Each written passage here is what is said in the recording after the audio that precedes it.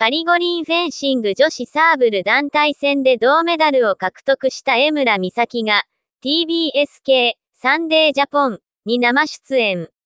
実演しながら競技の魅力を伝えた中、フォント所作や話し方が綺麗、と注目を浴びている。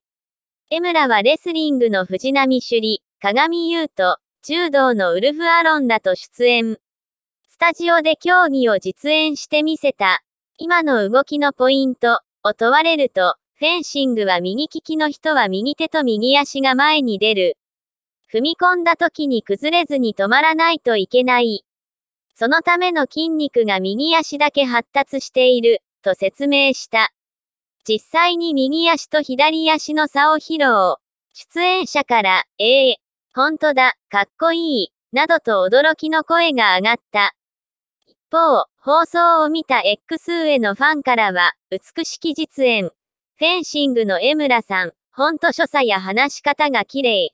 言葉遣いや表情にいい人感出てる。芸能人のようなお肌の美しさ。江村さんは、絵になるよ。凛として素敵。と驚きの声などが上がった。世界選手権に連覇中の江村は個人戦で3回戦敗退。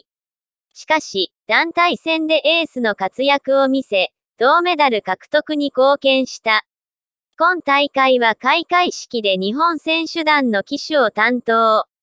フランスのファッションブランド、ディオール、ディオールのブランドアンバサダーを務め、昨年のミス日本では特別賞の和田静を特別顕彰にも輝いた。